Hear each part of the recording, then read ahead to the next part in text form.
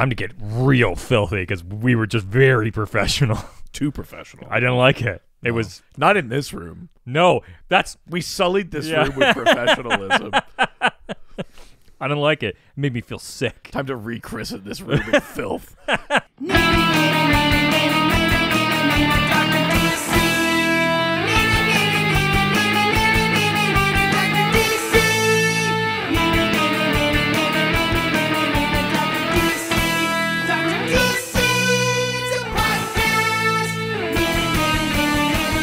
Welcome, residents, to Doctor DC's 300th podcast. nice. Hell yeah. And and I'm just as professional and good at this as I always Tonight was. we podcast in hell. oh, yeah, it's always been that. No, it's too clean in here now. yeah. We were very professional just now, and I don't like it. Yeah. It's the. No, hmm. never mind. I was trying to come up with a pun on Thermopylae. But Here's the problem too: is the two worlds ca- just came together there, not before, because we knew Our, that. you mean our work? Yeah, we just had a work meeting in this studio. but but even more so, the people on the thing, we had previously been together with them for the podcast and not for professional reasons. The last time all of us were in a room together was when we got awarded with something. Oh right, The, the- us being professional is the weird thing. that's right. Oh no, They were like, God, they're not like making cum jokes or anything. This is so weird. I've misjudged them. Yeah. Oh my God. Ugh. It's like a producer's situation where they hired us because they thought we'd fuck it up, but now it's a big success. They're Oh, like, "Oh no. shit, we bet on the wrong." Yeah. we didn't want to do this thing. I can't. I, if I get any more specific, it give me No, that, I think that's enough. Yeah, if the premier's listening, I hope I hope you've had a chance to read uh, Spawn Batman oh, okay. and to watch uh, Steel with Shaquille O'Neal. and look at your summations of very important information. Well, yeah, I, in both of those, I slipped in subliminal uh, policy messaging. So we'll see if this works. Also, Spawn references are all throughout this. Compelled to crown you king of the Yukon? oh my God, man! It was bound to happen. It's time. Uh, this is our 300th episode. You've been in this room at least that many times. I mean, so many more times than that. Because here's the thing: Two podcasts it's 300 episodes of mainline of episodes. mainline episodes of this show. yes. It doesn't count the 18 specials. Specials. It doesn't count the four annuals. Mm-hmm. It doesn't count the 170 something or 180 something double doses. Oh yeah. And it doesn't count any of the like 77 or 78 episodes of Ghostfacers we've done. Yeah, it bounces it out a little bit with the with with Docmus, but not by truly, much. truly, we've recorded like 500 episodes of just stuff. Wow, what a way to end it. Oh. Oh, Hashtag no. last year of the podcast just gonna keep saying it. until it's true, Oh no. one way or another. Oh yeah, D- Docmus this year cyanide. a new, different suicide attempt every episode. one way or another, we're going down. Good lord, that's so grim. Yeah, no, it's been 300 episodes, which is insane. That's it's bad. It's uh, too many things of a bad thing. We always do this on kind of milestone things. Yeah. but looking back at 300 episodes, Oh no. what are some like things? Let's let's start sincere and then go silly. What are some what what's don't know why something you like your statement like what's something you're like really proud of? Uh, Do it. Sincerity. Do it. Oh my God. Hashtag last year of the podcast. That's what did it. Tell me something.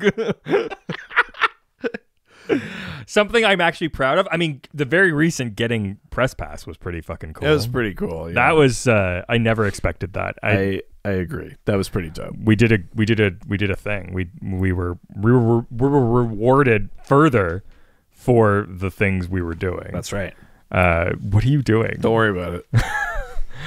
we uh Yeah, we uh, we uh, getting to go to a thing and getting free tickets to a thing. I mean, yes, for people who probably do this more professionally than us, are sort of like rolling their eyes at something like that, maybe. But No, uh, I mean I, I, it's it's not nothing. We got it was go- nothing. We paid nothing. Yeah, exactly. Yeah, Uh, I mean, we paid having to go there and a hotel, but we would have had to pay that anyway. So- mean, and the reality is, you you suckers paid for it. Oh my god, dude, dude, what? dude. Oh, is this not on the double? Um, yeah, no, I I would agree with that. That's a pretty cool. I mean, it's got to be. It's got. It has to be like being like officially honored by government. Yeah, it just hits different. Yeah, that government honoring just hits different.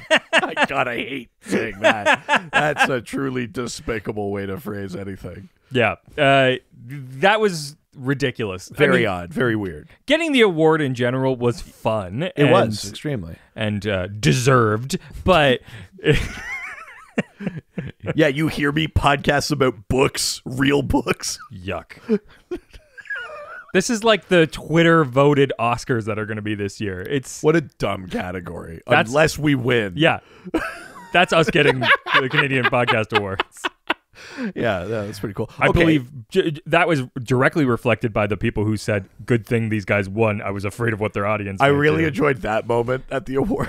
That's very funny. They were like, we were worried what would happen if you didn't win. That's right. Um, That's the type of audience we call. yeah. Um, on a sillier note, what are some of like your like favorite moments or jokes or Mm. people or anything from the the the last? Is there what what stands out when you're like these are the this is the reason why I haven't given up yet? Oh, I've given up. I mean, more fully, more oh, officially. Than have. oh. I mean, If anything, you're you've given up less because now you're into comics and you're reading them on your own. yeah, I've committed in a new way. I still don't listen when you talk, but at least I'm thinking about things that are related now. I mean, God, the romance. Good lord. I'm just looking at my books. Uh, yeah, yeah, yeah. Whatever. Yeah, Guy sure, yeah, Gardner. Thing, yeah. Who gives a shit? um, getting to talk with um, like with people like Liam Sharp and Yeah. like like these like creators that I'm like, oh, now I care about. Yes. Uh, it's been an interesting uh, uh, development, I think, throughout this whole thing. It's like, I like that we're basically pitching the most surprising thing was that along the way I cared about this. yeah, it was the things we made along. The way. Oh my god, it was the topics we spoke about way. along, along the way. Yeah, that was the true friends I made here. um, the thing that I always go back to is like I've used. I mean, more than even the other podcast, uh, the main podcast, we. Uh, I've used this as like a conduit for. It's the same reason that I'd made the comedy fest. It's just been like a conduit for me to like meet the people I like, or like heroes and things like that. And luckily, I don't have. I don't. I don't swing that big, so it's been people who would actually be willing to get on this podcast. Yeah. I think that is a thing that I always go back to, which is like, oh, like I've used this as a platform to be able to meet my favorite people and like talk with them and be in the same like in the same space along the same sort of like tr- uh, like we're we're, we're even in this f- field and it yeah Yeah. No, it's true. It's pretty cool. I mean, I I I like I like that after all this time it, it's still finding like some insane insane thing sticks in my brain and it's usually like nothing of like like importance. Like the current thing that's stuck in my brain and it's because i think the craig ghost brought it up recently on twitter because they just caught up on a couple of episodes. Was hmm. the, the man who mastered absolute 69 is like one of the funniest things i can think of. 'cause, like, just, what does that mean?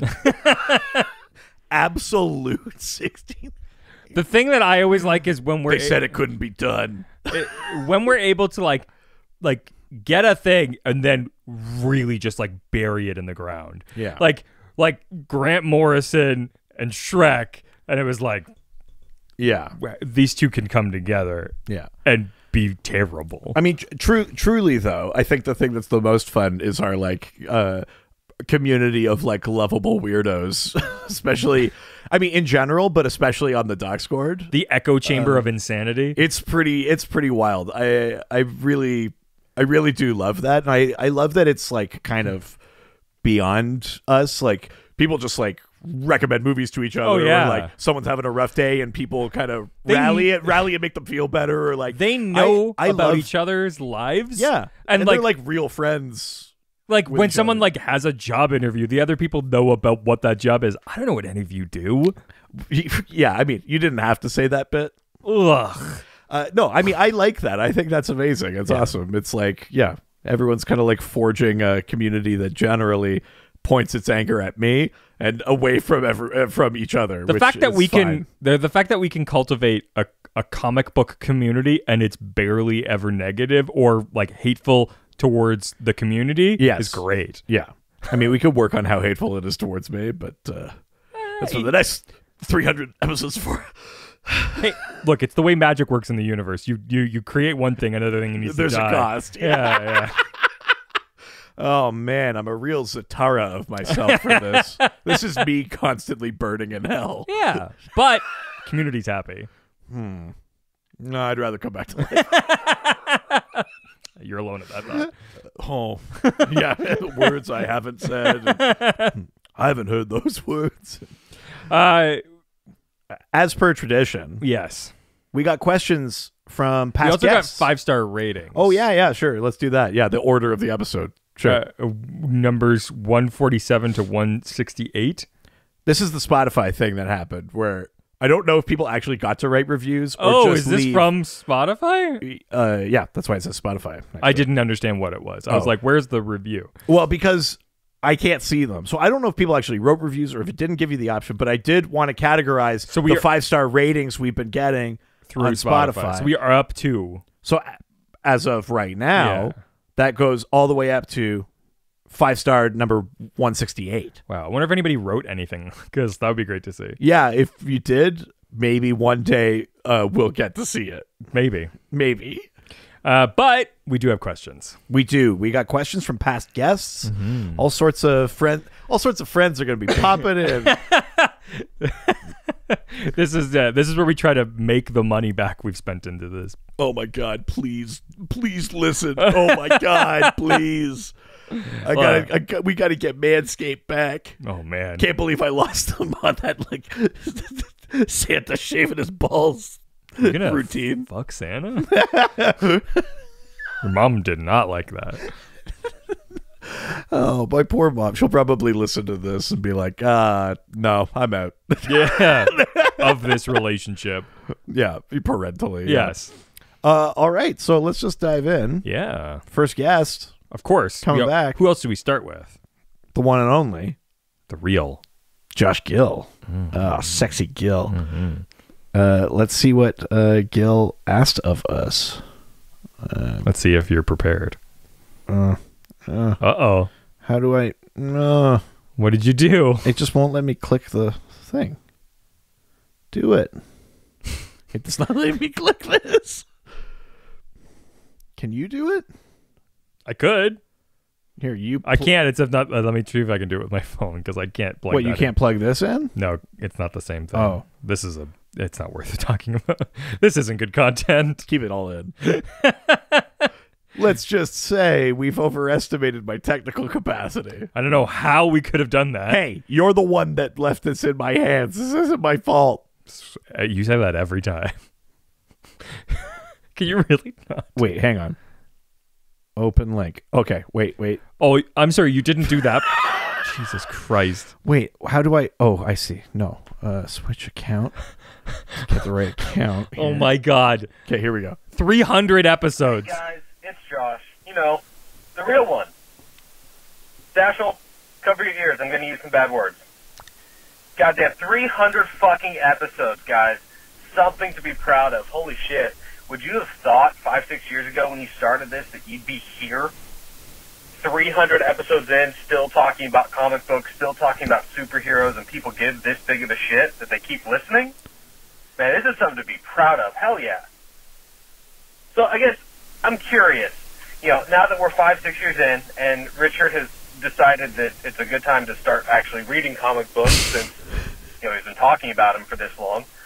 Uh, you know, a while back, I sent in a question that I offended Richard and just the worst way. When I asked, "Why is Superman a better hero, a better character than Batman? Know, I'm curious now that Richard's been reading comic books and his appreciation for the characters and the heroes has grown. Richard, why is Superman a better hero than Batman? Why is he a better character? Thanks, guys. Bye bye now. Thank you, Josh. Well, to That- answer your hang- question, hang, on. That's I should just say that is from Josh Gill, comma MBA. that's right. Congratulations. Congratulations, yeah. So it was specifically an arc that started in uh, uh, issue number 532 that it went on to 500. Wow. oh my god. You just blew what's left of my hair back. uh, that is actually a really good run. That's part of the one where he goes to Japan and stuff. But So I mean, as I recall, in the early days, yes, staunchly anti-Superman. uh, You were. Yeah, Superman's my boy now. Yeah. all right. All right. yeah, I've I've I, and you I I hate that I love Superman so much. This is like the ten things I hate about you. See. Yeah, yeah. Worst of all, One. I hate that I don't hate you at all. Janie's got a gun. Jeannie's got a gun. Um, I think that it's been a weird progression because I mean, it, I always my favorite book was a Superman book, Right. but I think that I've gotten a weird appreciation of sort of the like meta textual like sort of stories with that make good Superman stories. Right. I think that that that's the thing that uh, like runs through everything is just like when there's a really good Superman story, the story that that's telling this uh, story about like having honestly the story of like having all of the privilege and using none of it is Right. is like it's such a it's such a better story than like let's root for the rich guy. Sure. Yeah. Sure. Yeah. and at the end of the day, like that's kind of the Right. the parallels there. And I, I think that when Superman stories are done really, really well, it's it's more about the story of like hope and will and like internal strength more than like physical. And I Right. um yeah, I, I, I think that the like melancholy feeling that you can get from feeling alone amongst millions and billions of people is like it's so much more impactful than like this guy's a cool detective he's gonna beat up homeless people. I think Yeah. Well, I mean, we were just on the greatest pod Yeah. talking about Star Trek. And I feel like on that episode, maybe for the first time, I put together that I like Superman and Star Trek for similar reasons. Oh yeah, where it's right. like it's not about the future technology, the gadgets, or in Superman's case, the Yeah. powers. That's not the thing that That's a conduit to get you to good. stories that are interesting. ultimately the stories are about like when those things fail you or they're insufficient tools for the job. Yeah. How do you rise to the occasion? And that's usually at the heart of great Superman stories. shields always go down. shields are always down. yeah, and so am I. Were they ever even up? Yeah. Oh yeah, good question. When Look were at- the shields up?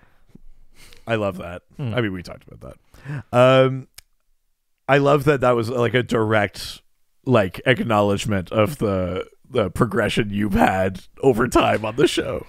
I mean, yeah, it's a good, it's a good, uh, like simile, I guess, for it. Yeah, Yeah, sure. I guess it's that. yeah. Okay. Open link. So this next question comes, comes. from Alex Jaffe. The Jaffers. Here we go.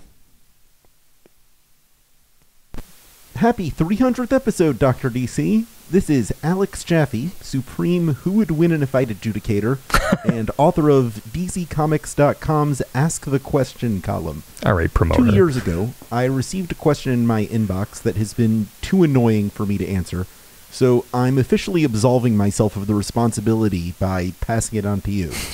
In May of 2020, DC Comics community member Alexander Knox asked the question How many characters have impersonated Batman? Whoa. Richard.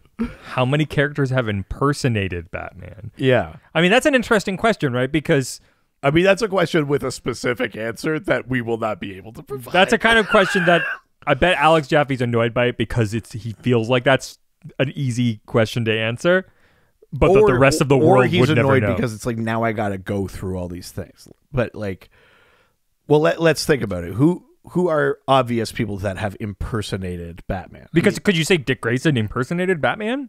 I mean, I guess in I mean, he was Batman, but I know what you're saying. In a sense, publicly, Yeah. people may not have known that Batman was Was did Kate Kane also act as Batman at one point? I don't think so. No.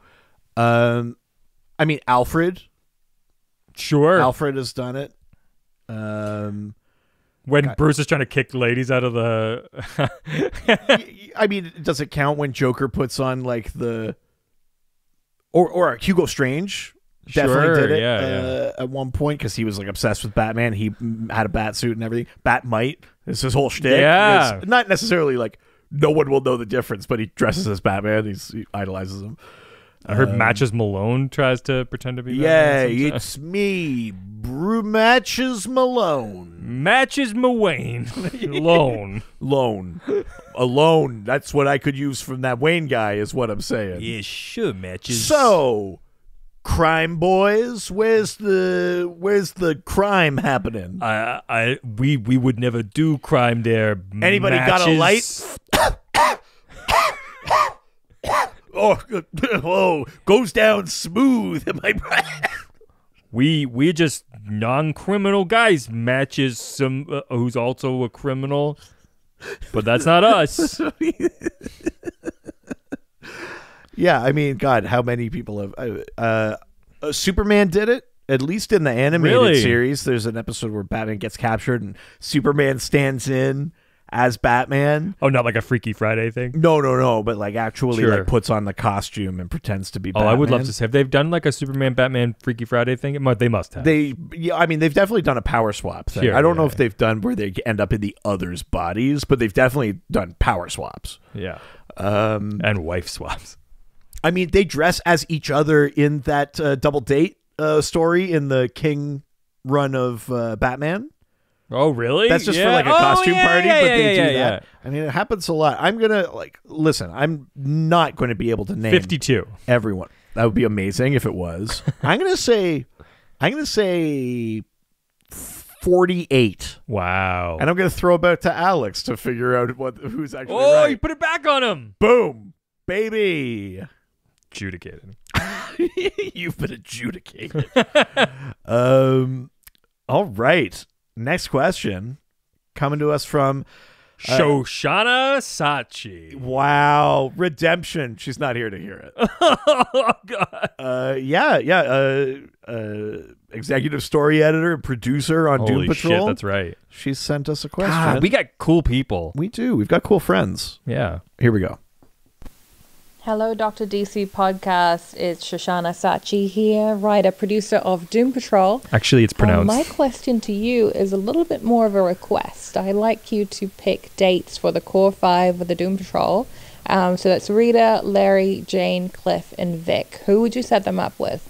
And their dates have to be other superheroes or supervillains from uh, the DC universe. So, who would you set them up with? All right, so let's take the core five members of the TV Doom Patrol. and give them dates. Robot Man, January 6th. What? Oh my god! I mean, but he would be there like by accident. Yeah. like he'd be like, "What the fuck? oh fuck!" That's pretty funny. um, yeah. Let, let's set up the core five members of the TV Doom Patrol Are we setting them up with, with other like superhero Yeah. characters for for dates. So we're gonna play matchmaker here. Ooh. Okay. Okay. Um, I'm gonna set up. Um, I'm gonna. I'm gonna set up Crazy Jane with um, multiplex Multiplex. because multiplex can make duplicates of himself, oh. and I, I'm gonna. Uh, each one gets uh, gets to date one of Jane's uh, personalities. Oh, that's fun. That's Yeah. a, that's a good one. Yeah, yeah. I like So it's kind of like speed dating, but she stays still, and multiplex rotates the his copies through. Oh, that's nice. I like that. Yeah. Yeah, yeah. Okay. Um, let's see. Uh, I'm gonna uh, Negative Man Okay. uh is gonna go on a date with um Phantom Stranger. Okay. Because I think that there's like a, a, a weird sort of like um like mis- the mis- the mystery between the two of them would be really exciting. Okay, I thought you were building to a he could give him the old Phantom Stranger kind of joke. I'm surprised you. That's not what happened there. No, you know what? Spectre. Oh no. Yeah. Oh no. Yeah. Spirit of vengeance. Yeah. Spirits. With the, with the negative man. Yeah, yeah, that's what it is. Yeah, Spectre. Wow. G- God. Good lord. What would you even talk about? We wouldn't need to. So, the vengeance of God, huh? They were just their spirits could touch. Right. Okay. When I'm gonna say. spirits touch. Uh, I'm gonna say uh, Robot Man and uh, Platinum of the Metal Man Oh, yeah. because uh, we got to get Platinum out of there. out of there. we got to get her away from Doc Magnus. That's a toxic situation. That's bad. Yeah. Um, but you know, uh, yeah. Let, let's. You know, I think this is probably still a bad match for Platinum, but we're only talking about one date.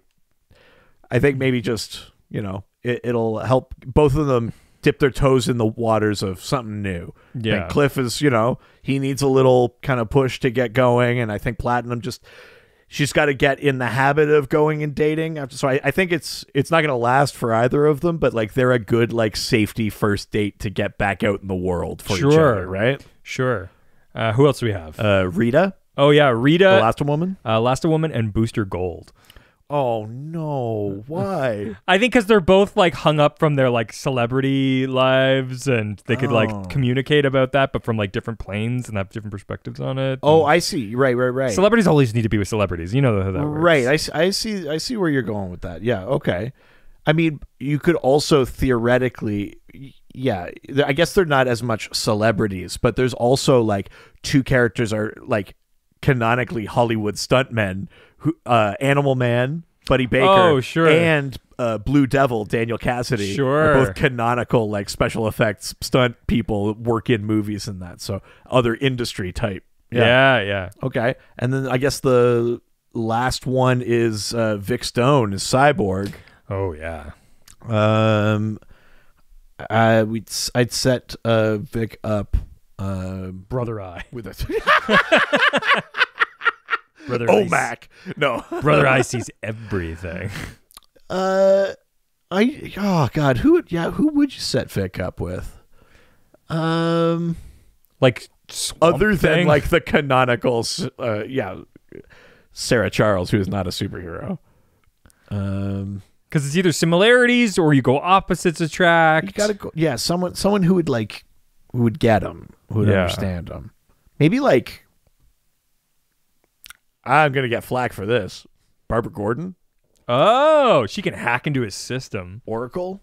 Yeah. Not just because she's good with She knows computers all the and buttons stuff, to but like, you know, you know, she she has to deal with you know her own kind of physical trauma. Like, I think they would understand each other. Sure. in a way. You know, you can get past some of those things that like maybe would make each of them nervous about dating in general. It's like we just we already start from a level of understanding and then we can go from there and get to know each other. I like that. Yeah. Nice. That's a good question. That was a lot of fun. Nice. All right. Next question comes from my favorite resident, oh. Dave Rossi. Your, oh, your your your parents. No. Oh. Oh no. oh no. Your sister. Hey guys, it's Dave Rossi calling. Congratulations on your 300th episode. And really, thank you, not only for entertaining us every week, which you certainly do, but for building a community that's really a lot of fun to be a part of. Here's my question. Are there any songs that, for whatever reason, bring a character or storyline to mind when you hear them? For instance, when I hear Natalie Merchant's Carnival, it always brings to mind Martian Manhunter and what assimilating into humanity must have felt like. Another one is Collective Soul's, The World I Know, which came out around the same time as Kingdom Come, which is one of my favorite books. It always reminds me of Superman's arc in that story. So I was just wondering if both of you have any songs like that. Keep up the great work. And DC execs, if you're listening, the ideas expressed in this podcast are not worse than yours. Sorry, guys. Thanks. Dash says, hey, Dash That's- says hey. Yeah, it's it's been 30 years. That's awesome. Thanks, Dave. I um, Dave, are are, are you like in your late forties? Just out of curiosity. Yeah, Collective Soul and Natalie Merchant. Now you're speaking Doc's language. I'm there. yeah, is there like a song that makes you think of a superhero? Maybe like beyond the obvious. like- yeah. well, yeah. Superman's I was gonna go. If I go crazy, you still call me Superman? Um, is there a song that like makes you think of a particular hero or a, even just like the, an idea? I'm so high. I mean, listen, those direct ones obviously count because they're like literal Yeah, soundtracks. yeah, I was gonna say like somebody save me, but, Yeah, Remy Zero. Who remembers Remy. Zero? Yeah. But yeah, do, do you have anything like that or anything that comes to mind? Or you, you know, now that you're reading more, do you ever like get, do you ever get partway through a comic and then like in your reading of it, something makes you think of a song, maybe like the opposite way around? No, I, here's the thing. Like, I, I don't, I don't really associate music with with comics at all, and Right. and, and I don't even think about it. Like, have you ever tried like listening to music while reading? Like, I, I listen to podcasts while reading. what? Yeah. That's the craziest shit I've ever heard. How do you do that? We've talked about this before. I'll like put something on TV, listen to a podcast, and do work and like writing work. what is wrong At with the your same time. What is going on in your brain? Uh, I don't know. How loud is it in there? Not loud enough to drown out the screams. Yeah. Oh no. Dean. God, you are a dean. Oh, thank you. I uh no, I have I uh, God if, with reading it's I have to have such like very precise like attention. Right. Otherwise, I can't do it. And even then, if I'm paying too much attention, then I fall asleep. So For sure, yeah. Yeah, it's it's a tricky question because I'm trying to divorce it from like sometimes I'm reading a comic and like because it's Batman, like if he says I'm Batman or something in the comic, then I'll have the like but that's like soundtrack. It's like of course you think of that. It's the Batman soundtrack, Yeah, yeah, right? yeah. Like it's that um yeah. God, that's a tricky question. I'd be curious to like listen to soundtracks while you read, like if it would help you get in the mood. Yeah. I I I truly, and I mean this, I don't think I have I have a specific Yeah. song that makes me think of a No. character or something. Sometimes though, truly, I just get in like a soundtrack mode and I have like maybe the Man of Steel theme or like the Kelvin Timeline Star Trek theme or like I Yeah. get those things stuck in my head and and then that will color how I take in other things like even if it's not related like if I've got the Lord of the Rings soundtrack in my head and then I'm reading Aquaman like that's to feel more it like heightens the fantasy of those things for me because I'm hearing like ba, ba, ba, ba, ba, like while I'm reading about Atlantis and stuff. Like I do have that thing happen, so it doesn't have to be like specifically connected. But yeah, I I I, I don't think of Natalie Merchant. I don't think of Collective Soul. Uh, yeah, I don't think of Counting Crows. I don't think of No no no no no no no. oh. yeah. Uh, I'm sure. Yeah, like, what other know. music is from that? Yeah, well, yeah. I mean, I don't think of San- Santana. Oh fuck yeah. Who? What? Okay, let's. Just because you brought that up, and I think it's fun. If you, uh, what hero would you think of if you had to think of one? And Oh. Smooth by Santana and Rob Thomas came on. Oh, Yeah, I mean, I'm thinking Vibe. sure. Yeah, I mean that. The the immediate thought was not even a DC character. It Oh, was sure. it was Gambit, but Oh, I mean, you're just, just like the ocean under the moon, no? oh, Sherry. wow, You got the kind of loving that could be so smooth. Give me your heart, make it real. Just forget about it. You turned into Lumiere at the end. There. Just forget about it. Here's that card. Here's that card. That's a good question. My whole thing is mostly cards. Yeah, but sometimes there's a stafford, so it's really a more complicated kinetic energy sort of thing. But It's very hard to explain. Let me show you an infographic. That's an awesome question. Thank Yeah. you, Dave. I would be curious to know like what other songs of the early to mid nineties makes you think of different. Yeah, what. Sheryl Crow do you? Uh, what makes you think of? yeah, yeah, yeah. uh, Hootie and the Blowfish's "Let Her Cry" makes me think of Jared Stevens' "Fate." Chris They Isaac. don't fit at all. Oh. Oh, I'm gonna fall in love. Who's who's that? Batman. That was Chris Isaak. no, I I, I meant the character. Oh, who would I think Yeah. of? I, uh, uh, I don't know. I, I feel like I'm in a mall. Don't wanna fall in Do you remember the. Chris Isaak show? Yes, I do. What an insane show. I only remember it because it was one of the things you had to get through to get to like Red Shoe Diaries. Yes. late at night. Yes. On like much more music. That's like, why I know night, about it. Like Chris Isaak show, I might see a boob or something. Yes. And then, then like then I'm gonna switch over to Showcase and I'll Yes. watch Red Shoe Diaries. That's so fucking funny. Go from 16 to 38? And well, okay, it was different where I live. Oh, sure. Much more music was 26. Oh, no, that's right. YTV was Showcase 16. was 39. That's oh, I was so close. It was that because YTV was 16. and then Much Music was 14, and then Much More Music was 20. Uh, was like yeah. and then wait, Much Music was 29. So So much, much, Music was 14 for me. Much Music was 29, so Much More Music was 36. Showcase was 39. And then sometimes if you wanted to watch like a telenovela or something, that was 34. Sure, content for no one. Uh, it's for Stump. Yeah, that's yeah. Stump, let us know what channel was Much Music yeah, on what channel you? did you have your sexual awakening to? Dash will turn off the podcast. oh no, he's old enough now. We've been doing this long enough. Uh, okay. Next question Yeah. comes from the guest we had on our uh, Lobo app, uh, Ooh, Hunter Van Leer Leerup. That's right. So here, o- open link. Such an old man. Beatles Giz, my podcasting brothers.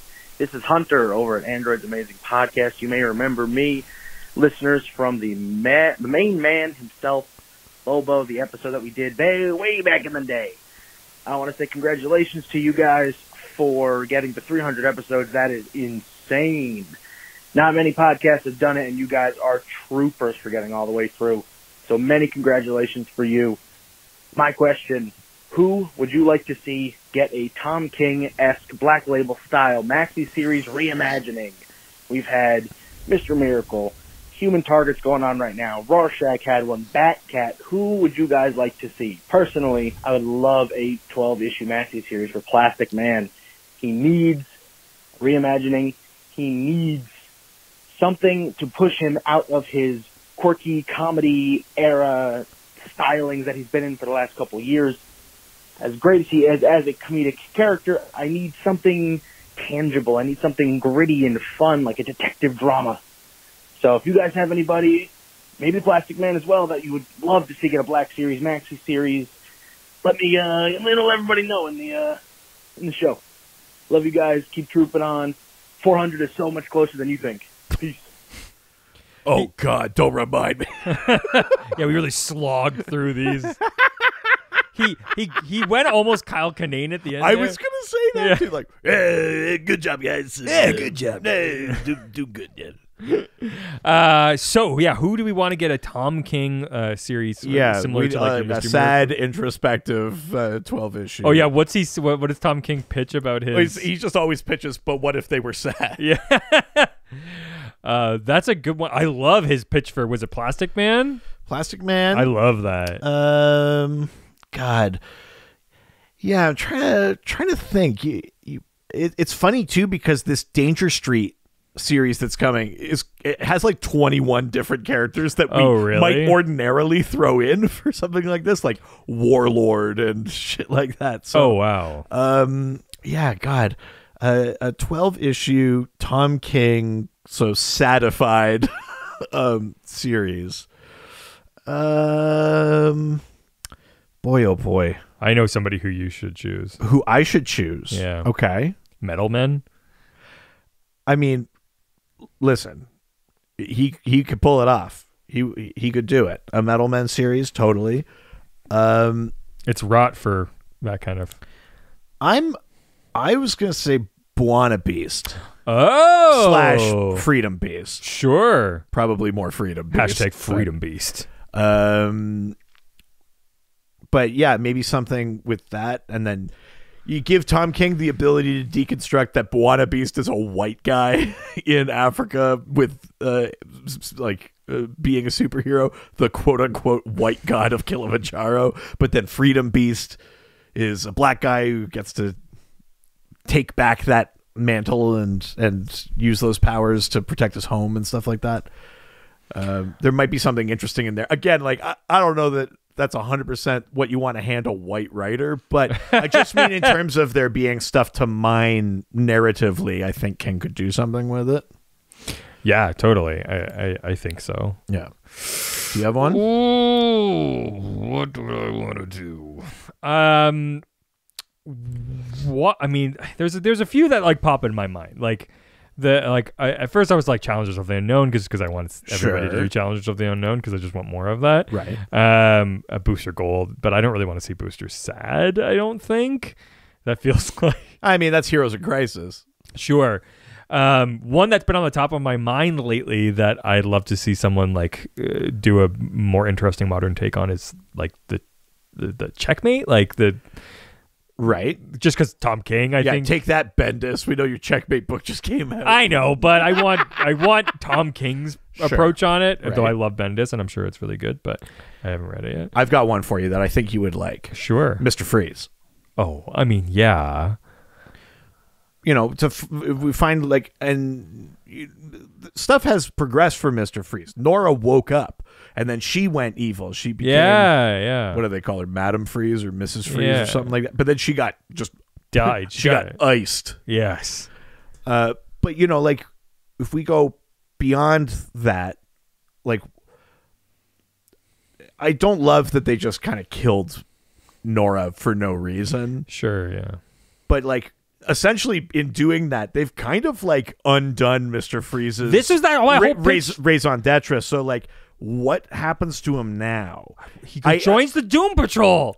and maybe he does maybe it's a mr freeze joins Holy the doom shit. patrol book That's the story I want. yeah maybe Holy it's that shit! That God damn it, we blew this wide open. oh my god yeah i like that nice good question hunter Yeah. all right Next question. next comes- question comes from jordan morris Holy shit! Uh, famed author and podcaster. that's right Hey, Dr. DC, this is Jordan Morris. My question is about Harley Quinn. I think it's common knowledge that she first appeared in Batman the Animated Series and was later brought into DC Comics continuity, but I was wondering when and how she made her first comics appearance. Thanks. Ooh, good question. Thank you, Jordan. Yeah. Uh, I mean, her f- her true first comics appearances, just being in a comic, were in like the the tie-in Comics comics or the, animated continuity comics for Sure. the anime. What about series. outside of that though? It, I mean, it's it's later than you would think. Really? It's like it's the late 2000s Really? when she makes her first like canon appearances. I think Like in eight or nine? Like DC. 2008 or nine?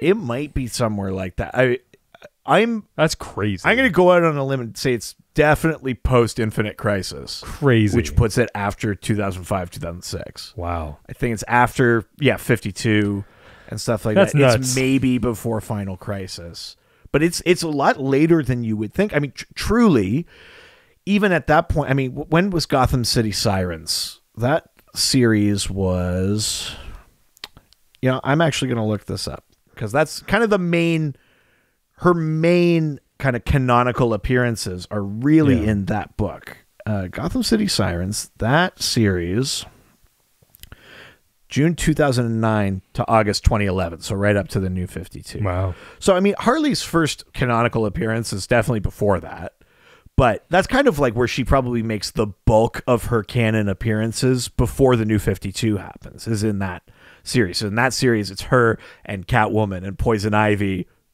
living together and going on capers and Yeah. that sort of thing.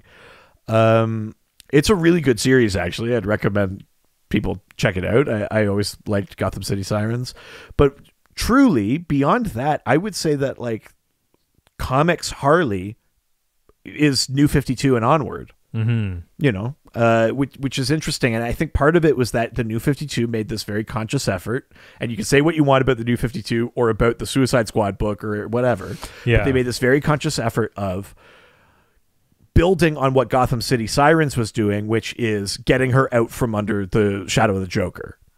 And uh, the Sirens does a good job of that, but obviously it comes up a lot. It's like a narrative point. But with the Suicide Squad, and then especially with the events of uh, Death of the Family, Harley and the Joker are done. And that frees her up to grow and develop. And sometimes it's still a little villainy with Suicide Squad, and sometimes it's more heroic, like in her own series and things like that. But I think the the thing you got to give credit to the new 52 for is really going like this is the thing that worked in Gotham City Sirens and we have to keep going with it. We got to get her away from the Joker. That's awesome. Yeah, and Yeah. yeah, yeah so very interesting though I would say like how late she kind of Yeah, I, I would never joins the that. canon. Yeah. Yeah. Uh all right. Uh we got a question we got a, a, a textual question. Textion. Am I textual? No. Oh. Uh, am I everything you Nope. read? I've got to read this question now. Everybody, yeah. Huh? I was trying to do like a question sound. Jesus.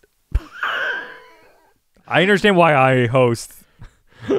You host. God, we're getting big for our britches here. Yeah. Used to just be the producer. Now you're the just singular host. Yeah, you're the expert that I contract to be on the podcast. You- like uh like Pawn Stars. I got to bring a guy in. Yeah, yeah, yeah. Just every episode. One of these days, I'm gonna have the answers. What what is Harley Quinn's first canon appearance? Uh, best I could do is talking about Gotham City Sirens. That's fair. That's the constant negotiation Yeah. we have with our fans. Uh, yeah, so this is a question from our uh, buds over at the Lantern Cast. They ask, "What do you, uh, what do you think ever happened to Hal Jordan's blue ring, blue lantern ring?" It's one of John's most glaring unanswered questions from his run. Um, Hal uh, kind of went through a period of sampling the different lantern rings. Oh. um, so many notches on his uh, lantern belt. And he did have a blue lantern ring. Blue, of course, that's that's hope. Yeah. And for those that uh, that don't recall, the the blue lanterns don't necessarily have a ton of inherent power on their own. They can make some constructs, I think, but it's mostly just energy stuff. But they're not like the strongest lanterns. Sure. But what the blue lanterns can do is when they're in the presence of a green lantern, not only does the blue lantern get stronger, will bolsters ho- hope, Mm-hmm. but they also supercharge green lantern rings. So Oh. hope supercharges will. They work better together. you know, yeah, exactly, right? Because I think the the the narrative thing is like, what good is hope without the will to oh, act that's cute. That's cute. I is like sort of that, the yeah. idea. So, uh, yeah, they kind of have this like feedback thing where they kind of uh, power each other up. But specifically for a Green Lantern, in the presence of a Blue Lantern, you get like mega power sort of thing. Yeah, Hal had a Blue Lantern ring, and then it kind of like just he just went back to being a Green Lantern, and I. All the other kind of when he had an Orange Lantern ring for a bit, like there's like resolutions in that. I actually don't remember. I mean, clearly it's unresolved. I, I don't even remember like where we left, where we last saw the Blue Lantern ring. Mm-hmm. I think the safe assumption is that. Uh, I think the safe assumption is maybe that in Hal's kind of quest through those different colors and stuff like that. I mean, the, the ultimate thing is that yeah, he he may temporarily have wielded those things, but ultimately, it's not like a Kyle Rayner situation where he mastered all of them. That's the distinction, right? Kyle mastered all those other rings and became the White Lantern because of it. I think Hal had these moments where it, a ring would choose him or he kind of dove into those other emotions but they're never they were never 100% where he lived That's not where he was Sure. so i think we can make the assumption that it either kind of wears off and the blue lantern ring went away or he was like yeah it's great to supercharge but like i have a hard time enough keeping that hope ring charged i'd rather just rely on my you know what i mean like that kind of thing was like i just i know i can count on me kind of yeah, like yeah. i need a green lantern ring thing or maybe yeah maybe it got reassigned or destroyed or something but my my my feeling is that it comes down to the idea that hal wasn't mastering Yeah. emotions he was just kind of working his way through them Man, you and I would be terrible Green Lanterns. Will? Uh But just think of how good of an orange lantern we would be. oh, we would be the both of us. best. Oh, yes. no. oh my god. Oh. More. More. Mine. yum yum yum. purchase, purchase. oh, Cha-ching. feed me. oh no. We'd have to duke each we'd have to duke it out with each other. Oh. That's what happened to Larfleeze, right? He got you know, all that orange energy, all the power of greed. There can only be one, you- Highlander style. You ate me? I could. I think truly you would probably end up with it. I think you're greedier than I am. Oh, well. Uh, that's not a racial thing. That's just. Uh, wow. yeah, I'm here just rubbing my fingers together. but what I was gonna say is, I would be. Your, Human. I would be your glomulus. I'd be your Orange Lantern construct, like oh, sure. sidekick, round guy. Sure. I'd, I'd be Your, Deal. I'd be your glomulus. Oh, what a great relationship. we'll. That's awesome. Uh, all right. Got another question here from uh, uh, uh, fan favorite, classic guest, Oh, good, yeah. good buddy of ours, Tessianos. That's right. Open link. It's so clunky, everything you're doing. It's fine. Well, hey there, Mr. Reed and Mr. Richard. Uh, hey friends, miss y'all, love y'all, hope you're doing good.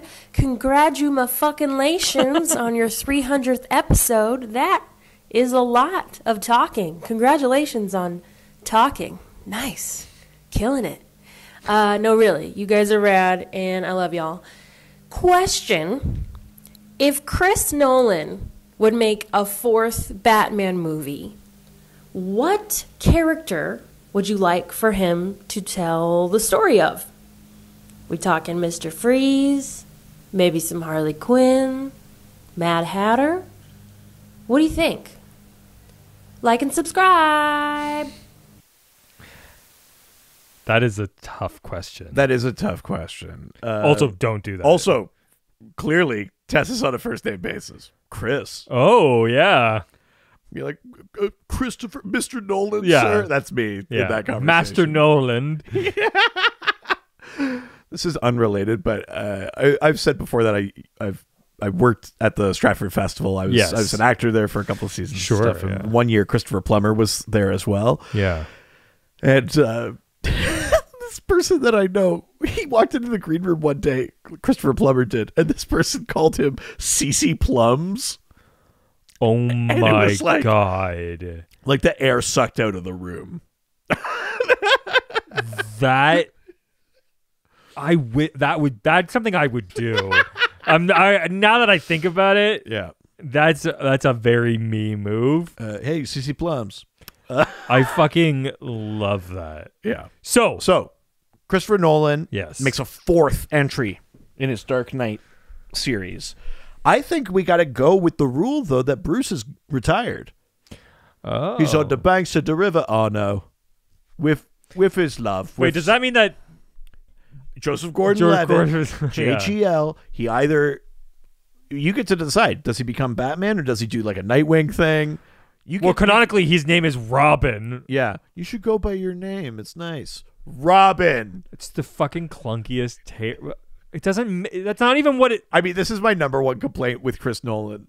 I'm gonna call him Chris now too. uh, my, my number one complaint, which is kind of retroactive, because at the time I was like all up on his dick about those movies, but now I'm like, man, it's like you're handing like these giant like creative properties to a man who is like best known for having no imagination on screen. It's like, what if, what if time travel was gray? That's like That's- that's Tenet. yeah. I just pitched it for you. What if time travel was gray suits? Yeah. What if it looked less visually interesting than the freeway chase from The Matrix 2? Yeah. Um. So yeah, J- JGL as either Batman or whatever. Okay. Who are the villains? Like where where are we going with? I that think movie? in that universe, because again, it has to be like boring grounded. It- it- Yes, y- you're not getting a clay face, No. or it's going to be like just a guy that like wears a bunch of like prosthetic makeup. Even that is too much. Yeah. yeah. Um, you have to do something that's grounded and works within like co- the corporate world too, because his sort of his whole thing is like Wall Street corporate greed. Like all of them are sort of about like big business and Yeah, there there is kind of an angle to that. I mean, really, the only one that isn't about that is the Dark Knight. yeah, yeah. Yeah. Uh, so I think you go Court of Owls. Sure. That makes a ton That feels like it makes full sense within that universe. totally makes sense. A, a Court of Owls situation absolutely makes sense. Yeah. What about you? I I think I was going the other way, maybe like less big. I, I'm thinking he you could do like a. I mean, tr- a penguin would totally work, Yeah. but it. Uh, I think maybe you'd want them as uh, some extra like side villains or something. Sure, like if yeah, the yeah. penguin is Yeah. or a mob thing is your main thing. Sure. you get like a Professor Pyg. Totally. like a you know a surgeon serial killer Yeah. kind of thing, or like a firefly. But instead of having a jetpack, he's just like a guy with a bunch of Molotovs. Yeah. he's you know you have some version of that. I Sure. think maybe a little more street level because Batman had the travel the world connection to like this big League of Shadows thing. So Court of Owls works because it's based in, in Gotham yeah. and uh, Robin grew up there. You know, like the you could still play with the idea of like I know this city, and then they go like, oh no, you don't know the city at all. Yes. you could still play off that. Yeah. So yeah, I think it's got to be those kind of characters. Yeah. Yeah. I agree with that. Yeah. Okie dokie. Oh right, I've got a okay. It's Uh oh, I could An this. extra step. We got Uh oh. got a question from past guest, good buddy, Paul Schultz. Was he a guest? Was he, He on? was oh, was on he a- on in a- in a Darkness. Oh yeah. a couple of years ago now because that was in person. Oh god. So that was in the before times. But here, uh, here we, here we go. oh, I don't like that. Hi, I'm Whitehorse Captain America, and today we're going to talk about snow and why not to eat yellow snow. well, actually, I've just been told about the 300th Dr. DC podcast episode. Congratulations, Reed and Richard. What an amazing milestone. My question for you is Hostage besides video. Superman, what DC hero should make rapping with the cap type PSAs? And who should not? Oh, and the missus has a question. My question is if Wonder Woman and Aquaman got together and got married and had children, what would their children look like? Would they be people or would they be fish with lassos? So two questions there. Yeah. First one Yes. is uh, that like rapping with the cap thing from like the Spider Man, the MCU Spider Man movies. The like, so you, you, you've got detention. Yes. Those kind of videos in DC. I mean, it feels like it's Superman It, or Booster. Like, Booster feels like that's a branding like thing. We used to be like, I'll be at every school. Yes. Kids would be like, that's good like brand awareness for me. like, because I think like if Superman was was like real and he was like the nice guy that I Yeah. think he he claims to be. I think. Whoa! Oh my god! The nice guy he claims to be. this feels like you're about to challenge him to a debate. All I'm saying is, If he has nothing to hide, where's the emails? his emails. Show show him his emails. Yeah, he had a personal Kryptonian server. um, good lord. Um, yeah, I mean, I, I think you're right. Either the branding side, it's like a booster kind of Yeah. thing, or yeah, Superman. But I, I'll, I'll throw the Flash out there. Central City loves the Flash. They built him a fucking museum. Like he's a guy who'd be like, yeah, I'll record a bunch of these things, use them in your school. Be Yes. like, yeah, and here's here's why phonics is fun. Or it would be Yeah. like science. He'd be like, chemistry powers me. You know, I got my powers from chemistry. Uh, be be safe with chemicals, kids. Don't do chemicals in a lightning storm. Um, I think I think those kind of characters make a lot of sense for that stuff. They're very public facing, very positive. Uh, yeah, I, I I think those make a lot of sense. Totally. Uh, second question: uh, If Wonder Woman and Aquaman fully got together, not just kind of hook up, as in Flashpoint, fully got together, had a family, Mm-hmm. what would their kids be like? I'm gonna. This is not how she intended the question, but I'm gonna go full measure of a man style and be like, they would of course be people no matter what. how did? I mean, if they've got weird fish fins or something. yeah, you're right. uh, yeah. I mean, I Because Aquaman's not part fish, he they they they'll be human. yeah. I mean, certainly ability to breathe underwater. Yes. you know, Aquaman and Wonder Woman, they kind of mess around with like what is the relative strength level between them. I think Sure. they're meant to be close, but Wonder Woman is meant to be strong, Obviously. Um, but like strictly speaking, I mean, in a way, it kind it kind of makes a bunch of sense because there is like a Greek god's connection to Atlanteans and stuff like that via Poseidon, and then even if you take you know Diana's kind of current thing where yeah, it is the clay, but it's also Zeus, like that Yeah, sort yeah, of yeah. hybrid kind of thing. There's a it it makes a lot of sense. It's it's not quite the like mad science experiment that like you know Martian Manhunter and Hawk Woman. You know what I mean? Like um so yeah, they breathe underwater.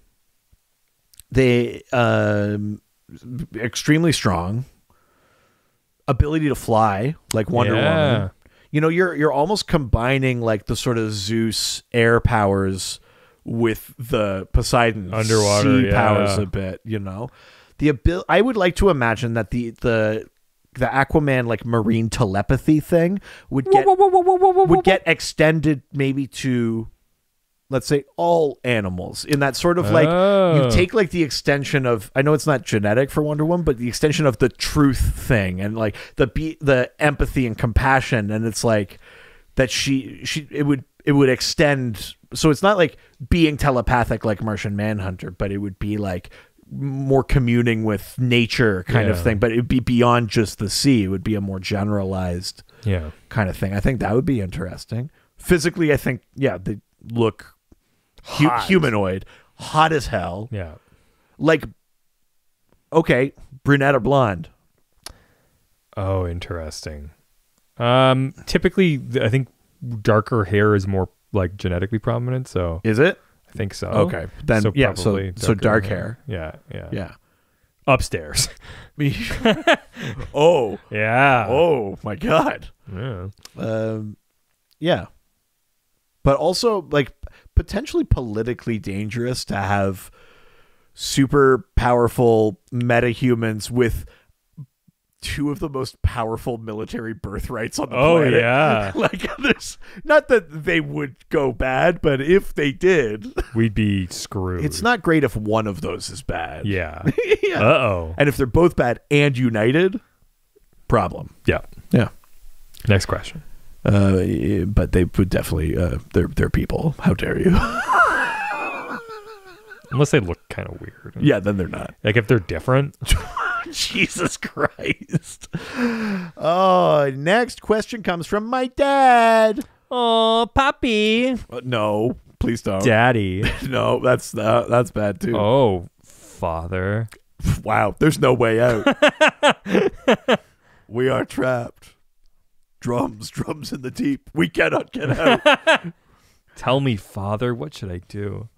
Forgive me. Yeah. Um, so- Hashtag never forget me, father. never forgive, never forget me, Father. I'm so confused. Uh, so, from Dr. DC Senior, we got this question: Yeah. Are there any significant differences in their approach to being a superhero between those who were born with their powers and those who acquired their powers through circumstance? So, like, what? uh, Hold on. Is there any diff- significant difference between the way that the, the, their abilities based on how? they yeah, like? I, the the question is essentially, you you know, are there discernible differences or or different journeys for people that either grow up with powers versus people that get them later? filthy little mudbloods. Good lord. You're on all sorts of all sorts of shit this episode. And yet none of it's actually bad. That's mean- the key. That's the key. Sure. Is I it's a there's a thin veil. Yeah, master of nuance. Yeah, And absolute sixty nine. the man who mastered absolute sixty nine. Um, the problem is, is the powers are so different. So it's like you Superman was born with it and is theoretically uh, the most powerful, like of the like supers. I, I, think maybe there is like a slight um well i don't know i think i think the the impulse is maybe to say that the people that grew up without powers maybe have um you you'd be inclined to say they've got a greater appreciation for because they like they lived without them or whatever but maybe less control or like understanding of. I mean, them. I think that, I think that's part of it, right? Like, there's a, a steeper learning curve because they have to get to where the people who have had them for the lifetime get to at the same point. yeah. So you say, if we just pick an arbitrary time, by the time you're 30, you got to be a master of these powers. Someone's had them from birth, and someone gets them at 24. Yeah. That's a way steeper learning curve. So I do think that's a part of it, but maybe there's also like an element of like Black Canary has that thing where it's like she tries not to use her power so Yeah. much. I mean, technically, she's born with her power. oh, She tries not to use it so much. And maybe it's because she has a really good understanding of it. She doesn't want to rely on it. Um I I don't think if you just went comic to comic, you would find a pattern though. Is the thing. Yeah. I think there are writers that uh or or uh who will pick up on different things or they'll have a an idea where it's like I think Black Lightning would deal with things this way because he gets these powers later and that would but i, I think it, it's incidental like I, I don't know that i don't think you'd find a pattern of like the heroes that got their powers later are either better with them or more careful or or more reckless or whatever Sure. versus the other ones however i do think that distinction makes for interesting like narrative possibilities if slash when people pick up on them but yeah, I think if you were just to take like a survey of comics, you'd end up finding there is no pattern there. Yeah. Yeah. I agree with that. Yeah. All right. Next question comes from past guest and Doxner award winner. Oh. Butt butt fart butt. Oh, brother butt. Open link. Every time. Whoop. Hey, Dr. DC. Hey, producer Richard. This is past guest Butt Butt Fart Butt. Happy 300th episode. So, you guys have given me so many things to think about in these past 300 episodes, like squeaky cheese, how Captain Atom would actually work on the Doom Patrol, and who first did a rice. so, I thought I'd give you something to think about. Important question. If you had to burn your entire comic collection, but keep one item, it can be a trade or a comic, but no omnibus, no That's compendiums. What would bullshit. you keep? Thanks for all the great content. Here's to 300 more episodes. something, girl. Yeah, as as that question was playing, Richard was miming hanging himself. Yeah. So, Richard, you finally got this collection. You're not at all obsessed with expanding it. You're now forced to burn it. You can only pick one thing to save it. It can't be like a massive omnibus or compendium. What do you say? Tell me something. So, kind of like one like regular trade or like one single issue. This is an act of terrorism. Wow. Sexy terrorism. Nope. Nicest. Oh, come on. come on. Jesus. Good lord. Fine 11. Um,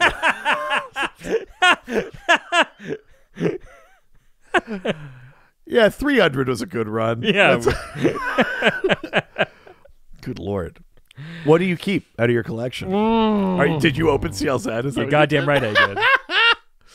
um, here, Because I- here's the thing: do you go for something like valuable, important or Yeah. valuable, or do you just go for something and be like, I just I dug this one, I liked it?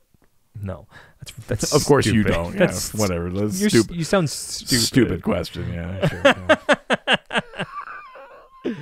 Um, a few things come to mind. Uh, I think like the like the first appearance of Miles Morales is up there for Right. me. I think the one that I, I I'm definitely circling right now is uh, Swamp Thing 21, sure. um, Volume Two. I think that's a really Yeah. cool, important. The one. anatomy lesson, Yeah. classic Swamp Thing yeah, issue. Yeah, but I, I might have to go with my what if volume one issue one, Which is uh oh god, it's less about uh, yeah. This is how I know. It's like like oh, the app said it's a key comic. No, it's actually not even in my key comic lists. Um, it's just the one I spend the most money on. Jesus Christ! You put that in? no, I just remember. Oh, I see. Okay, I don't remember. I don't pay attention to money. Uh, oh, it's uh, what if Spider-Man joined the Fantastic Four, which is the thing that Oh, sure. yeah I think Yeah. happened at one point. Yeah, I think he did yeah, eventually. yeah, Yeah, yeah, yeah. Interesting. Um, yeah, it's probably the one that I spent the most money on, and is probably the most important to me. I- Next to that fucking yeah, that Miles Morales one. Oof. I think I would pick. Um, it's one of two like Flash kind of adjacent issues. I'd either pick Flash 139, which is the first appearance of Reverse Flash, the Yep. first appearance of Eobard Thawne that I've got, that which was a gift from my parents. Um, or I would pick uh, DC Comics Presents number one, which is the start of a two-parter. Um, that's a race between Superman and the Flash. Yeah. Um, that one, the latter, I got like that's from my dad's old collection. Yeah. That's one of my inherited comics. It's one of the first comics I ever read. I obviously have a, an emotional connection to it, but it's also just kind of cool. Yeah. Um, uh, I think it's important for me that it would be a Flash issue though, because that really is kind of like an early gateway of comic reading for me. Really? Yeah. Bunch of bunch of Flash comics, uh, and like Legion of Superheroes and stuff. But Flash is the one that really stands out. There's uh, an issue whose issue number I can't think of, with Heat Wave, and he melts car tires, but Barry's driving, and he like vibrates out of the car, swaps all the tires, and vibrates back in before his image disappears. Oh wow. I just I, I have a lot of memories of reading kind of Silver Bronze Age Flash. Sure. So yeah, I think it's one of those two. It's either Flash 139 or DC Comics Presents number one. Sweet. Yeah. Don't fucking touch my comics. So I have emotional reasons for picking things, not just like Yeah. fucking random value reasons like you have. Those are emotions. Value? Yeah. My emotion of value. Yes. Value. Human. Human. Remember the 78th rule of Yes. acquisition. Yeah. All right. All right. Next question comes from past Docmus guest. That's right. And podcaster most of you are probably already listening to and- Subscribes and, you to, yeah. enjoy more than us. yes. Rivers Langley That's right. of Goods from the Woods. It's the goods from the woods. Great theme song now. I love that theme song. Yeah, the old one sucked. It's a piece of shit. Wait, open link. Nicest. That's proud of that. Jesus Christ. Hey, Dr. DC, this is Rivers Langley from the Goods from the Woods podcast. Congratulations on 300 episodes. That rocks. You guys rock. I had a quick question slash discussion point that I'd be interested to hear your take on. Uh, I went to go see The Batman two nights ago. I just got out of the movie just now. And uh, first question all right, I need a top three unpowered superheroes. And let's take Batman And hell, let's take Iron Man out of the equation. Those are the two famous guys. I want to hear the top three unpowered, non Bat, non Iron Man superheroes that you got for me. The second question slash discussion point that I'd be interested to hear who would be the funniest villain to turn into a super dark, brooding, scary, like serial killer the way they did the Riddler? Because uh, Paul Dano was great, but you know, Jim Carrey, he was not. Uh, so that's what I want to know. Who is the funniest villain that you could make into like a scary character, and how would you do it? Uh, once again, congrats on 300 episodes. You guys are the best. Greetings from sunny Los Angeles. See you soon. I need to put that in there. That's uh, yeah, yeah. Oh, it's sunny. Immediately ungrateful. Um, That's kind of my thing. okay, so first part first. Yes. Top three unpowered superheroes. And let's stick that with DC Okay, just to play f- sure. correctly. Jesus. What? So take Batman out of the equation, though. yes. You know your boy's throwing Green Arrow in there. I love Green Arrow. Is uh, a skilled archer, champion of the of the people. Green Arrow's in there. Sure. Here's the other thing too: is like, do the characters? They themselves don't have powers, but the suits can, right?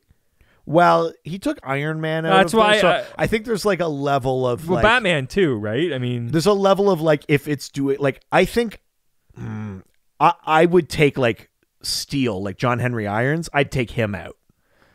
Because I like think we're talking about people that aren't going out full armored up in something else. because I would say like, does Green Lantern count then? oh no, he, he has powers. He doesn't have a power. He has a form- ring. The ring has The- power. Yes, and he's using it. That's powers. Well, so does Bat. Like, Well, then they all count. It's, like, it's just genetics. you know what I mean? Like, is that defensive Hitler? uh, uh, it's just genetics. yeah, I'm working on a new character for my SNL audition. It's defensive Hitler. It's just genetics. Do it. No, It's, I'm, it's I'm okay. right there. I'm all right. I'm good. um, Because here's the other problem too. Because then yeah, no, you- Green Lantern obviously doesn't count. That's powers. suit. Jesus Christ. it's equipment. It's not. Okay, well, It's powers. sound off on the on the comments. Um, so then Not just anyone can pick up a Green Lantern ring. It chose them, meaning that even you could you could classify their degree of willpower to be their uh, their power because that allows them. will. Yes, because that is what you know qualifies them and selects them for the Green Lantern Corps to get then this ultimate tool or weapon or whatever. I don't know. Jesus Christ. Because then what else are you left with? You're left with like uh, martial arts, like trained ability, right? Yeah, could be. Um. So Or could you be someone that's just like so good at what they do that even if they're not like the best, you know, like you could put the question in there, right? Like I, I think the question is like, I mean, a a skilled martial artist in his own right, not top ten. sure. Um, sorry. I think that was uh, that? Ryan, Ryan Pigeon. Who Yes. was like, he's the best fighter, and I was like, he's not. So Immediately dismissive. dismissive. Um, you know, you could think you throw someone. Oh, like I got there. somebody. Deadshot. Sure, yeah, yeah. Deadshot. That's a that's a, a a great one. That's just ability. Slash or Deathstroke. Yeah, yeah. Well, except that Deathstroke does kind of have power. Like he has like chemical surgical enhancements. sure. Okay. Um, because now he uses ninety percent of his brain. Sure. Deadshot then. All right. Yeah, that's a that's a good one. And then uh Harley. I mean, uh, you could throw Harley in. I was about to say Mr. Terrific, and then I stopped myself because ultimately he goes out in the field with the T spheres, and he does have a power, and his power is being untraceable to technology. Sure. so, um, uh, oh, Wildcat. Oh. I mean, I guess he's got the nine lives thing. Never mind. yeah. Yeah, I mean it's a it's a tough question. So who who did we get with Green Arrow, Deadshot, and Harley? Yeah. There you go. I don't hate that list. I don't hate it either, actually. I, yeah, I could go for it. Yeah. All right. Last question. Last question. Oh no, there was a second half of that question. Oh, sorry, that's right. What's Uh, the most right. ridiculous character that you a could ridiculous character that we could turn super grim dark, uh, and how would you do it? Ooh. Um, God, uh, let's think of a ridiculous villain first. I know. Um, Mr. Mxyzptlk?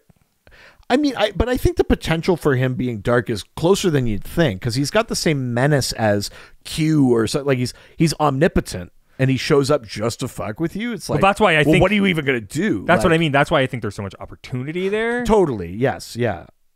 Yeah. Right. I guess I was sort of interpreting the question as who is the furthest from Sure, being scary. yeah. But yes, you're right. He's a traditionally kind of colorful, silly-ish character. It's like a Riddler-y thing, right? Where it's like yes, yeah, that's right. Sure.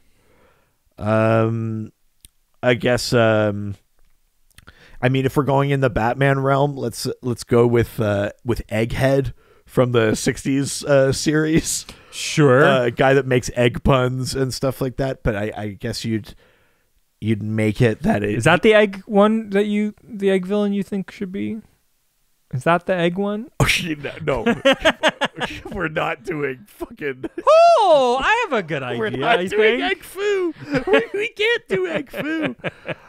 Uh, yeah, you do egghead, but then you make it that it's like I don't know, he's some sort of like horrifying geneticist who like sends like half baked clones out into the world. Like that's the egg thing. Is he's like growing these kind of like malformed clones and stuff and Mhm. sending them out almost like you're almost taking like the Professor Pyg Dollotron thing, but you're applying it to like some sort of horrific genetic experiment kind of idea. But and you make that egghead, but he still makes all the puns. Excellent. Time to make an exit. That's funny. yeah. Um, you could do uh, who else? Oh, um, Doctor Owl, or whether- no, Doctor Hoot. That's what it is. right? Doctor Hoot. Yeah, yeah. Yeah. Or who's that plastic man villain? Dr. Dome? Just the guy with the dome head? Nice. Nice. Yeah, they call this guy Dr. Dome. Or Kite Kite Man. Yeah. I mean, uh, yeah, Kite Man would be interesting. How would you make him dark? What would you do with him? Oh, um, That it's not just transportation, that he's like, turning humans into kites. or, well, okay, either that, where he's flaying them and turning Yeah. them into kites, which is insanely dark. really good option. Or I was going to say he's like a serial killer who only operates in thunderstorms. Yours is darker by far. um, just, I just pictured him killing people Ben Franklin style. And by that I mean that's how Ben Franklin killed people. obviously. yeah. I'm Kite Man, and this is a man kite. You just do it jackass style. Like, yes, I'm Kite Man. This is man. this is the human kite. Yeah. ah! That was a fun time. That's amazing. That's a great movie. All right. Last question All right. from uh, a, a person we have no special connection to. Yeah, somebody that's not literally in my favorites in my text, and you aren't. What? Well, because we don't text. I know. For some reason, Like- we use Facebook Messenger, which I don't get. Oh, huh. well, that's that's really nice for him. I guess we'll just listen to the question. Hey, Dr. DC boys, it's your friend Kyle from the This Is Rad podcast. Oh, is that where you're from? Uh, I just wanted to say congratulations on your great accomplishment and this milestone. And I got some questions for you. I got two questions. They're kind of two flip sides. I am recording this days away from seeing the Matt Reeves, The Batman, coming out. I am more hyped for this than I've been for anything in a long time. Not even because it's a Batman movie per se, but is because finally we are getting a sad Batman. We've had broody, we've had gothy, we've had tough bro, we've had tougher, bigger bro, but finally, a Batman that is just kind of sad all the time. For us, for us sad boys, it's going to be great. So, my question is this, guys. If you could take one 60s Batman villain and the Batman them, Who would you do, or who would you do? How would you do it? Like, what would your pitch be for taking somebody like Eggman or King Tut and putting them into a crazy horror tinged sad Batman movie? And my flip question: What modern, super gritty Batman villain would you put in '60s Batman, and how would you make them groovy? I mean, we're talking Bane, we're talking Mister Zsasz, we're talking Black Mask, we're talking Court of the Owls, or you could get really sassy and figure out how to put Azrael next to Cesar Romero without making all of our eyes bleed. I'm just saying, I think it'd be fun. So let the chaos begin. Answer my questions, and congratulations on 300 episodes, guys. You're halfway there. Uh, I'm going to take that as a full vindication that I'm amazing, and that also Kyle and I are good friends, and uh, he should get out of Richard's texts. We're together now. Just because the egg man Yep. thing? That's, That's- enough? Sometimes when we touch. Tell me something. I'm I'm fully uh, like uh, that answer counts for me. Okay. I'm carrying it forward, but take a '60s villain and uh, and uh, make them dark and gritty. Um, I think the Clock King. Clock King, sure. Okay. I feel like that is a close enough. Like, um, it would be an easy way to to put those in together. Right. But I think you'd probably have to make it like a like a bomber. Oh, like that's the precision. Yeah, Right. yeah. Right. Yeah. Oh God. Oh no. Like Yeah. a like the Unabomber. Yeah, Right. exactly. yeah. That's Yeah. the Clock King. Exactly. Okay, I mean that's pretty dark. Um, so then the other half of this is to take a real dark Batman villain from the comics, Make them 60s. and make them like '60s groovy Batman Oh, I got it. adjacent. Okay, I've go. got it. I got it. Uh, Killer Croc. Okay, all right, But it's a guy in like alligator like uh suit. right, sure, yeah, yeah, yeah. I think so. And he's like a con man. It's like everything he says is like a total crack. oh, that's good. Yeah, there. Oh, I like that. Waylon Jones is a real smooth talker. Yeah, everything he says is a killer crack. Wow. Interesting. I like that actually. That's really good. it's just like Batman villains, Killer Croc. Boom. My pitch was just kind of like a dumb one. I was just gonna say I was just gonna say you do like Owlman, like Earth Three, like Crime Sure. Syndicate Yeah, yeah, yeah. version of Batman, but you do it old Star Trek Mirror Universe style where it's just Adam West with like a thin goatee. Oh. like but all it's this it's like the same costume but it's just like the mask is slightly different it's an owl logo he does like he doesn't dance that's how you know he's bad he has a goatee he does not dance but he like causes mayhem and confusion in gotham when like gordon calls and Owlman shows up and he like helps the Joker get away or like does something like that. And he's like, "What is this?" And you go like, "Oh, he's clearly evil." Goatee. Yeah. um, you could do Hush, but it's like just a mime.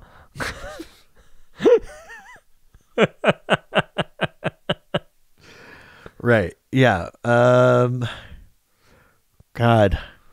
Batman villains. I guess you could do you could do like a kind of body horror-y thing like like Mr. Bloom or like uh Vile, who's a relatively recent Sure, villain yeah. or something, but instead of it being about like the body horror of like growing long fingers and stuff like Yeah. that, or in the case of Vile of being like a parasitic sentient infection uh, essentially it would just be like Vile would just be like slimy or something and like Mr. Bloom would he'd be like your poison ivy substitute in the 60s because there wasn't a poison ivy in the show then You know what? Two characters that you would basically have to do nothing to, except for just maybe like shave off some of the edges. Okay. Is uh, Bronze Tiger, uh, which feels very like in there, or uh, Calendar Man.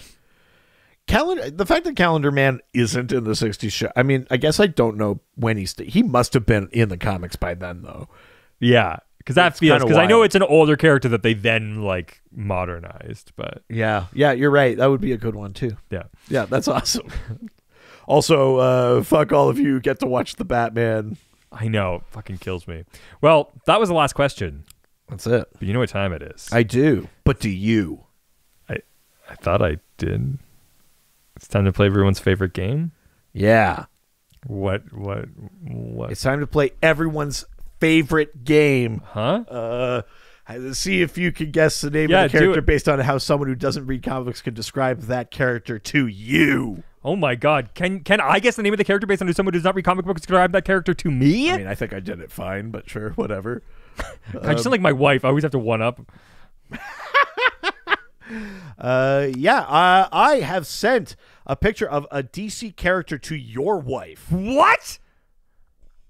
You son she of does my, not. My wife. does not read comics, nor does she care for them. What? She has sent back four clues that may or may not be helpful, describing the image of that character that I Well, sent. I sent an image to my wife of a character from DC Comics. and She doesn't read comic books, nor does she care for them. She sends back four clues describing what she sees. How does that make you, feel knowing that I sent your wife a picture of a DC Comics character?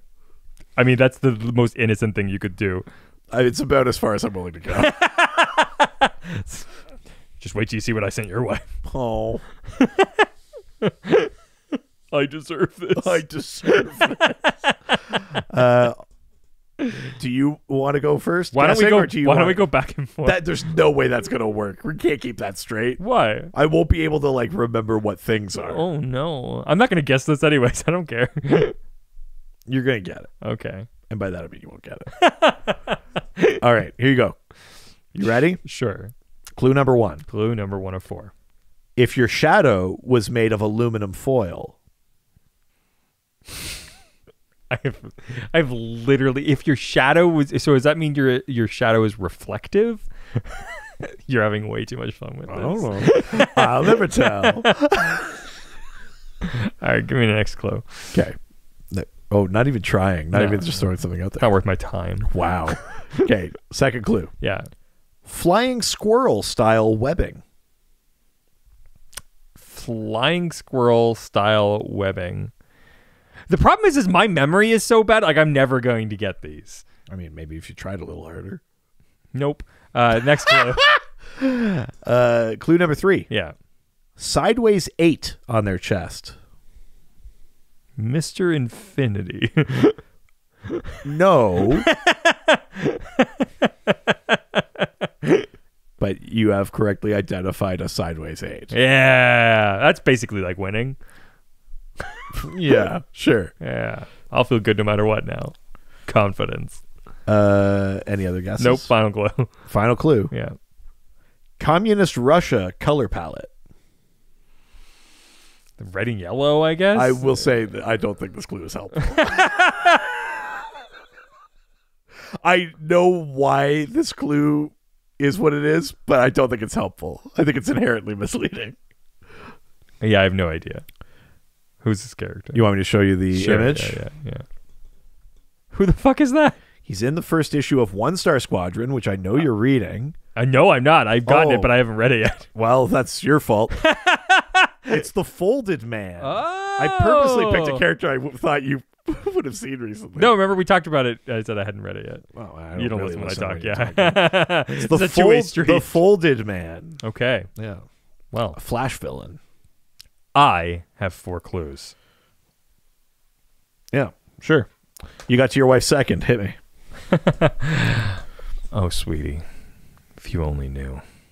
Uh, Anyways, um, I'm ready. that's what she said. oh. Uh, first of four clues. Mary Poppins umbrella. The Penguin. No, that would Just had to cover the bases. yeah, yeah, yeah, yeah. Um,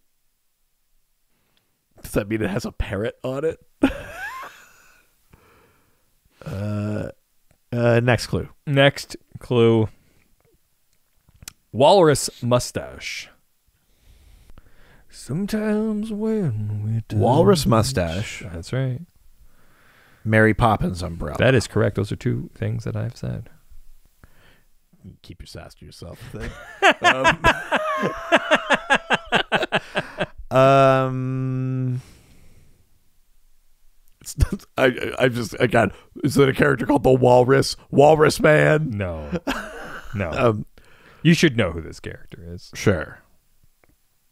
Third clue. Third clue. British grandpa. Monocle, No. Gentleman Ghost, No.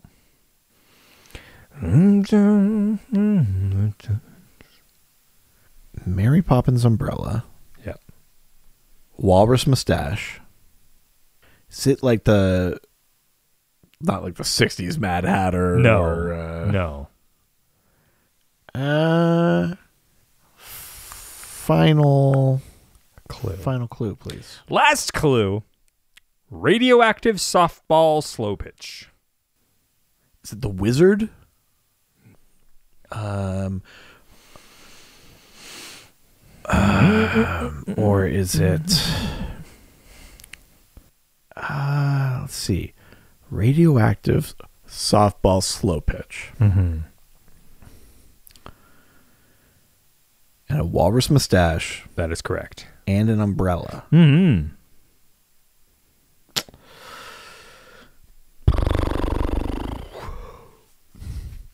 And an old British grandpa. Mm-hmm. Um, Beefeater? No.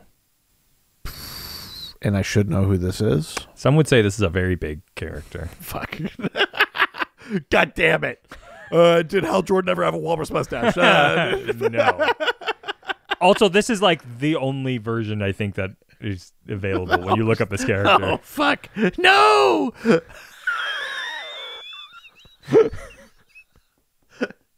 Not like this. It's a pretty. Uh, some could say the biggest character. Yeah. Walrus mustache. Yes. Mary Poppins umbrella. That's correct. Old British grandpa. Yeah. Radioactive softball slow pitch. That's correct. Yeah.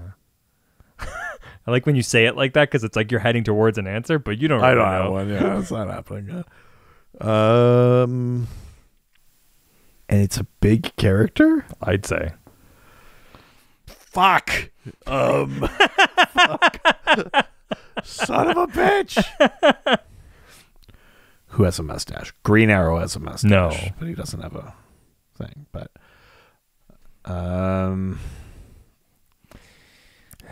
Fuck, fuck, fuck, fuck, fuck. Some would say he's the biggest character. Mm-hmm.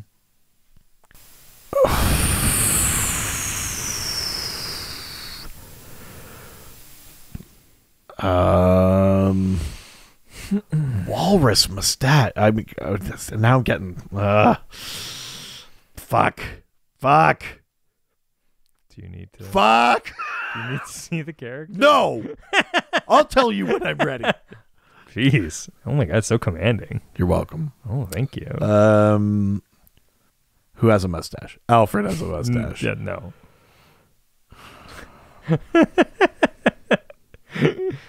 you just take a shots in the dark now. It's okay. It's not. I'll never forgive myself. Do you want to see? Never forgive. Never forget.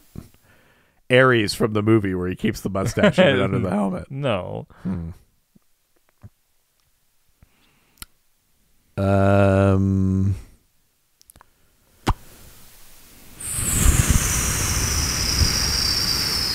The fisherman No. The biggest character. or the scavenger. No. I don't think either of them had a mustache. It's okay. it's fine. I will Can't get them all. kick the shit out of you. Whoop. Uh, the biggest character? Mhm. Maybe you mean like literal biggest, like size wise. Who's to know? So who has a big mustache? Big mustache. a walrus mustache? the biggest character?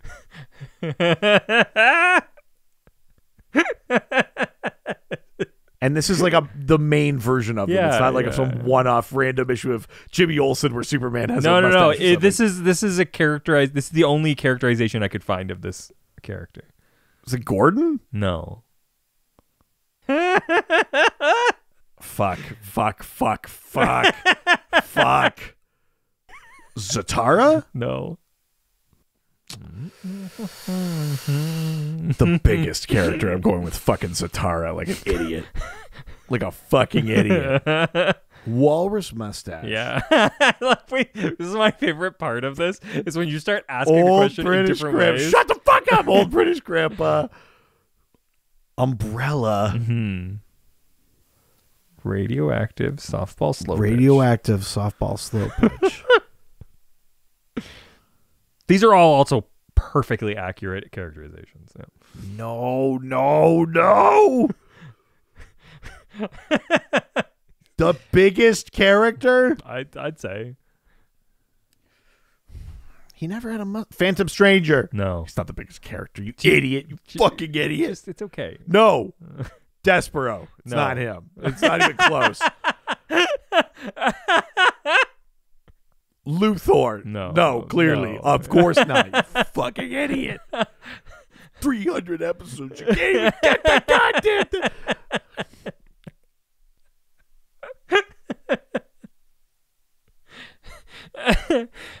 this is almost as good as the Batman one. How is the, the- oh fuck you? It's the biggest character Mhm. in DC, Mhm. and it's not Superman No. or Batman No. Or Harley or the Joker. No. It's obviously not Wonder Woman. Yeah. It's also not the Penguin, the No. character who has an umbrella and theoretically could look like an old Nope. grandpa. No. Also, the only version of the look It's of the this look. only version of yeah, this yeah, look. yeah, yeah. yeah. That I could find. It's not Gordon, No. another famous mustache in DC. That's correct. It's not even close. That's the biggest character. That's ridiculous. The biggest character. You must mean size wise, which is just like, but then who had a mustache and was that big? Tobias Whale never had a No. mustache. That's a stupid thing to say.